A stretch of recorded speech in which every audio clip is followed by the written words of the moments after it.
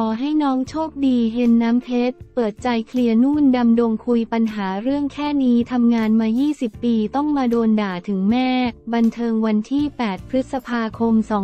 2567 12นาฬิกา2นาที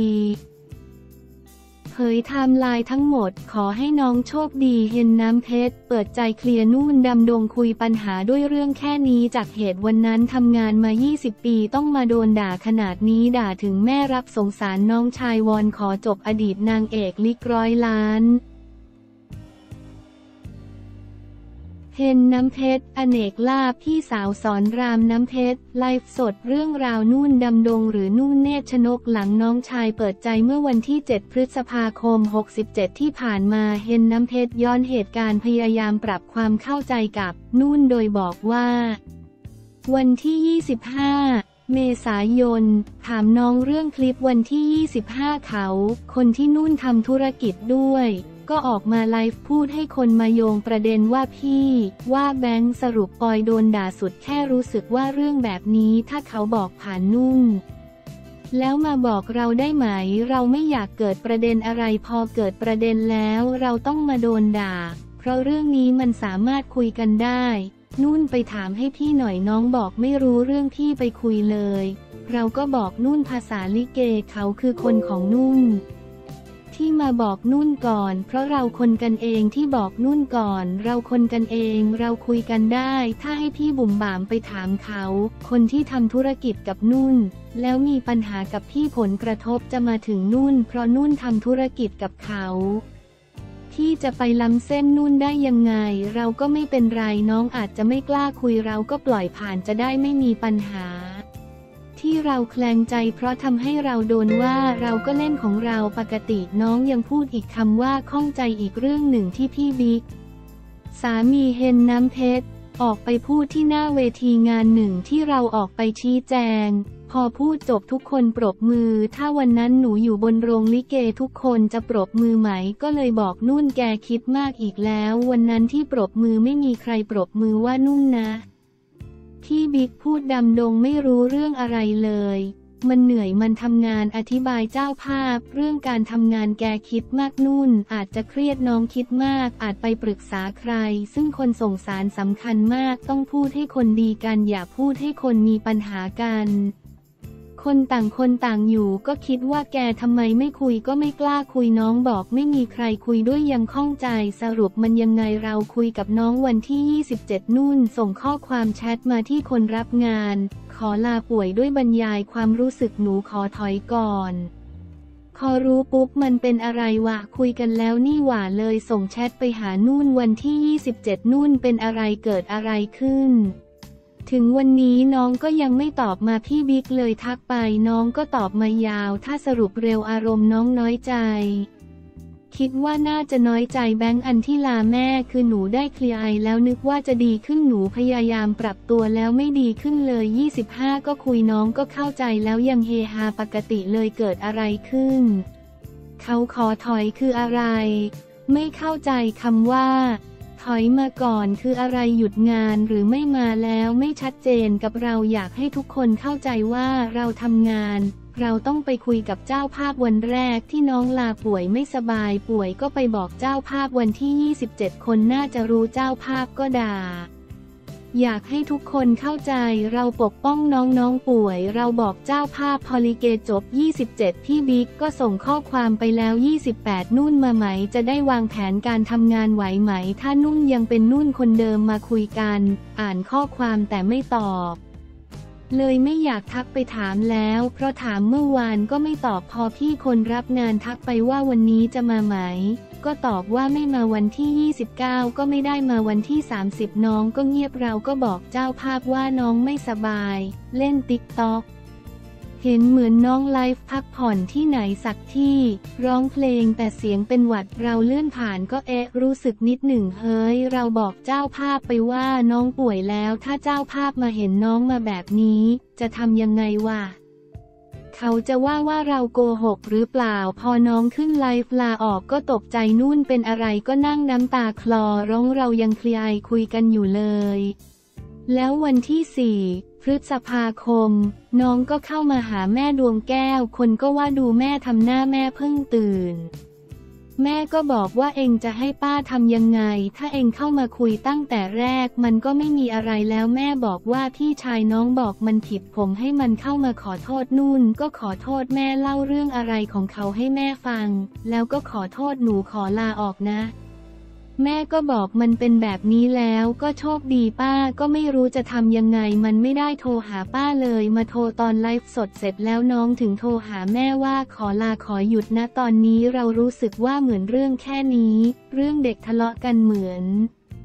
นุ่นงอนแบงค์คุยกันไม่เข้าใจ จากเหตุการณ์วันนั้นถึงตอนนี้แล้วเราต้องมาโดนด่าอะไรขนาดนี้ทำมาหากินมาต้องมาโดนด่าอะไรหยาบหยาบคายคายด่าถึงแม่ก็โดนป้าก็โดนมันเป็นเรื่องนิดเดียวเอง นางเอกที่ไม่ใช่ญาติออกหมดเอาอีกแล้ว สมมุติลูกที่อยู่ในท้องเกิดมา เราก็อยากให้เป็นลิเกลูกเราเราว่าได้ตีได้ดุได้ไม่ใช่เรื่องแปลกทุกคนที่อยู่ในคณะออกไปเติบโตสัญญาใจเราไม่ได้ปิดกั้นใครไปเติบโตเลย หนูเล่นลิเกมา 20 ปีไม่ว่าใครออกไปหรือยังไงหนูทำงานของหนูแบบนี้มานานหนูทำงานเป็นทีมทุกอย่างต้องดูความเหมาะสมลงตัวด้วย ไม่ใช่บางคนบอกเอาแต่ญาติก็ใช่ญาติพี่น้องช่วยกันทำมาหากิน นุ่น ก็เป็นคนเก่งมีความสามารถแต่เรื่องแค่นี้กลายเป็นแบบ ขอวอนว่าอย่าเอาประเด็นอะไรมาให้พวกหนูแล้ว หนูอยากทำงานแบบไม่ต้องเครียดเราทำงานแบบนี้มา 20 ปีแล้ว อันนี้คือมุมของน้ำเพชรแล้วแต่วิจารณญาณทุกคนไม่รู้จะต้องมาโกหกทำไมความจริงอยากคุยกับน้องด้วย ตอนนี้ไม่คิดมาก แต่อย่างที่บอกก็เสียใจก็ยอมรับการตัดสินใจของน้องขอให้น้องโชคดี เขาก็มีงานของเขาเราก็ต่างคนต่างทำงานต่างให้กำลังใจ ซึ่งกันและกันก็พอ ความรู้สึกในใจเราก็สงสารน้องเราด้วย อยู่ในวงการมาไม่เคยมีเรื่องอะไร คนต้องมาด่าด้วยเรื่องแค่นี้คุยกันไม่เข้าใจคนมาด่าแม่เราอีก เราก็โกรธนะ แม่เราไม่ได้ทำอะไรคนเราก็มีความรู้สึกขอบคุณทุกคนที่รับฟังเข้าใจ เราได้อธิบายมุมของเราแล้ว เทนน้ำเพชรอเนกลาบ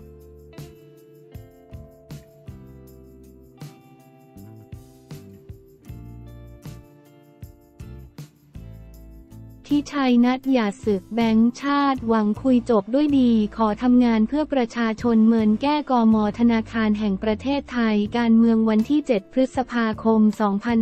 2567 17นาฬิกา55 นาทีพี่ชัย เตรียมนัดคุยผู้ว่าแบงค์ชาติหารือนโยบายเศรษฐกิจเคลียร์ปมขัดแย้งเชื่อจบด้วยดี ขอทำงานเป็นอิสระเพื่อประชาชนเมินแก้กฎหมายธนาคารแห่งประเทศไทย เมื่อวันที่ 7 พฤษภาคม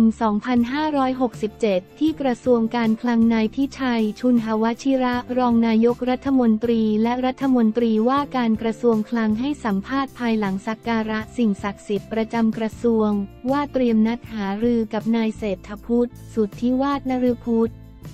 ผู้ว่าการธนาคารแห่งประเทศไทย ธนาคารแห่งประเทศไทย เพื่อหารือถึงแนวนโยบายดูแลเศรษฐกิจ เชื่อว่าจะเกิดความเข้าใจที่ดีและจบลงด้วยดี ถ้าทุกฝ่ายเห็นความสำคัญของประเทศ ส่วนตัวอยากให้ธนาคารแห่งประเทศไทย ดูแลสถาบันการเงินให้มีสถานะการเงินที่เข้มแข็ง มีเงินทุนสำรองระหว่างประเทศเพิ่มขึ้น และยังมีประเด็นที่ธนาคารแห่งประเทศไทยจะช่วยได้มากขึ้นในเรื่องของการดูแลเศรษฐกิจส่วนตัวอยากให้ธนาคารแห่งประเทศไทย ดูแลสถาบันการเงินให้มีสถานะเข้มแข็ง มีเงินทุนสำรองระหว่างประเทศเพิ่มขึ้น แต่อีกมุมก็อยากเห็นคนมีรายได้เพิ่มขึ้น ต้องมาดูว่าจะเร่งเศรษฐกิจอย่างไร ถ้าเร่งมากของแพงก็ต้องเบรก แต่เราก็มองเห็นเรื่องหนึ่งที่ต้องหยิบมาว่า วันนี้ของมันฝืดต่ำกว่าที่คาดเหยียบคันเร่งหน่อยดีไหม จะเหยียบอย่างไรของบางอย่างเหยียบแล้วใช้เงินบางอย่างเหยียบแล้วไม่ต้องใช้เงิน แต่ใช้นโยบายก็เหยียบได้แล้ว ผมคิดว่าค่อยๆคคุยกันไปคุยภาษาเดียวกัน เชื่อว่าจริงๆ แล้วน่าจะคุยภาษาไม่ต่างกันเท่าไหร่ นายพิชัยกล่าว ส่วนเรื่องความเป็นอิสระในการทำนโยบายของธนาคารแห่งประเทศไทยนั้น นายพิชัยระบุว่าทุกวันนี้เป็นอิสระอยู่แล้ว เป็นอิสระในเรื่องของความคิดอิสระในการวิเคราะห์ข้อมูลอิสระในทางเลือกที่ดีที่สุด แต่ทางเลือกนั้นต้องตอบสนองความต้องการของประชาชน ซึ่งในที่นี้คือการตอบสนองคนที่มาทำงานแทนประชาชน ซึ่งคือภาครัฐ ถ้าลงตัวอย่างนี้ก็จบก็แปลว่าอิสระ แต่ต้องดูว่าอิสระแล้วได้วินวินหรือไม่ทุกคนต้องได้นายพิชัยกล่าวว่าการหารือกับธนาคารแห่งประเทศไทยในครั้งนี้คงไม่ได้พูดคุยกันเรื่องดอกเบี้ยเพียงอย่างเดียว ระหว่างนี้กระทรวงการคลังและธนาคารแห่งประเทศไทย ต้องดูว่ามีประเด็นอะไรบ้างที่ต้องหารือกัน ซึ่งตนมักคุ้นกับผู้ว่าราชการจังหวัดธนาคารแห่งประเทศไทยดี ตนมั่นใจและทำงานอยู่ในแวดวงที่ไม่ต่างกัน ต่างกันแค่อายุ ดังนั้นสิ่งที่ตนเห็นคิดว่าทุกคนมีมุมมองของตัวเอง มองในด้านนั้นว่าดี เราอาจจะมองอีกด้าน แต่เมื่อทางหนึ่งได้ดีอีกทางหนึ่ง อาจจะเสียอาจจะมองการไม่เห็นทั้งหมดทางเราเห็นทางนี้อีกทางหนึ่ง อาจจะระวังทางนั้น สิ่งที่ต้องทำคือมานั่งคุยกันหาจุดยืนตกผลึก เอาข้อเท็จจริงมาวางแล้วร่วมกันแก้ปัญหาให้ประเทศ พูดง่ายๆ เพื่อประชาชนแต่ประชาชนในที่นี้ไม่ใช่แค่คนจน มันต้องทุกคน เพราะว่าทุกส่วนเชื่อมโยงกัน นี่คือสิ่งที่ผมพยายามจะบอกส่วนจะหารือกันเมื่อไหร่นั้น ต้องดูว่าผู้ว่าราชการจังหวัดธนาคารแห่งประเทศไทยว่างเมื่อไหร่ ผมว่างเมื่อไหร่เท่านั้นเอง แต่เชื่อว่าจะคุยกันในทันทีที่มีโอกาส คงไม่ใช่พรุ่งนี้หรือมะรืนนี้ นายพิชัยระบุสำหรับข้อเสนอของธนาคารแห่งประเทศไทย ในเรื่องโครงการดิจิทัลวอลเล็ตนั้นหลายข้อตนยอมรับ แต่บางข้อก็ต้องมาช่วยกันขยายความ เช่น เรื่องลดดอกเบี้ยจะทำให้คนใช้เงินมากขึ้นใช่หรือไม่คำตอบคือใช่ถ้าไม่มีหนี้หรือหนี้น้อย แต่วันนี้หนี้ไปไกลมากแล้วถึงดอกเบี้ยน้อย คนจะมีปัญญาใช้เงินไหม วันนี้เพียงแต่ต้องมาดูว่าทำอย่างไรให้คนมีเงินคืนหนี้ ให้มีกินมันเป็นคนละบริบทกันอยากให้ทุกคนมองภาพทั้งหมดว่าเป็นอย่างไร โครงการดิจิทัลวอลเล็ตรัฐบาลไม่ได้เอาเงินมาให้เพื่อให้มีกินมีใช้ แต่เงินตรงนี้คือโอกาสโดยเฉพาะเรื่องการบริโภคเงินบางส่วนที่เคยต้องซื้อก็ไม่ต้องซื้อ ใช้จากดิจิทัลวอลเล็ตแล้วเอาเงินส่วนนั้นไปจ่ายหนี้แทน หรือเอาเงินไปซื้อของลงทุนมันมีหลายมุมตรงนี้จึงเรียกว่าการกระตุ้นเศรษฐกิจ ถามว่ากระตุ้นเศรษฐกิจทำไมต้องใหญ่ขนาดนี้และในเวลานี้ เพราะเราต้องสร้างความเชื่อมั่นว่า GDP เราไปได้ เพื่อดึงดูดการลงทุนจากต่างประเทศ ส่วนจะถูกผิดจากนี้เดี๋ยวเรามาดูกัน นายพิชัยระบุผู้สื่อข่าวถามว่าผู้ว่าราชการจังหวัดธนาคารแห่งประเทศไทย จะอยู่ทำงานถึงสิ้นปีนี้หรือไม่ นายพิชัยกล่าวว่า เป็นคำถามที่เป็นไปไม่ได้อยู่แล้ว ส่วนที่พูดว่าจะมีการแก้ไขพรบธนาคารแห่งประเทศไทย เพื่อลดความเป็นอิสระในการทำนโยบายนั้น ผมมองว่าไม่จำเป็น เพราะหากดูที่ตัวกฎหมายดีอยู่แล้ว มีความเหมาะสมอยู่แล้ว รัฐมนตรีว่าการกระทรวงคลังกล่าวอีกว่า วันนี้เป็นการทำงานวันแรกเท่าที่ติดตามข้อมูลก็พอใจในเรื่องการจัดทำงบประมาณ ในส่วนของงบลงทุนของปีงองูบอใบไม้ 2567 ที่มีสัดส่วนเพิ่มขึ้นเป็น 24%จากปีก่อนที่ 20%ขณะที่งบโครงการลงทุนในต่างจังหวัดก็เพิ่มขึ้นเป็นระดับแสนล้านบาท จากปีก่อนที่ระดับหมื่นล้านบาทเท่านั้น สะท้อนว่าเป็นการจัดสรรงบประมาณที่สะท้อนความต้องการในระดับภูมิภาคมากขึ้น ในส่วนของภาวะเศรษฐกิจไทย เห็นได้ว่าที่ผ่านมามีการเจริญเติบโตลดลงเป็นขั้นบันได โดยอัตราเฉลี่ยทุก 5 ปีลดลง 1%กว่าแม้ว่าทั่วโลกจะอยู่ในสภาวะเดียวกัน แต่ประเทศเพื่อนบ้านก็มีอัตราการขยายตัวของเศรษฐกิจที่สูงกว่าไทย ดังนั้น ไทยจะต้องมาดูในเรื่องของการปรับโครงสร้างการผลิตเพื่อการส่งออก ต้นทุนที่สูงเทคโนโลยีรวมทั้งดูแลในเรื่องภาคการท่องเที่ยว ที่ต้องไปดูจังหวัดยอดนิยมดูเรื่องโลจิสติกส์ให้มีความเชื่อมโยงกัน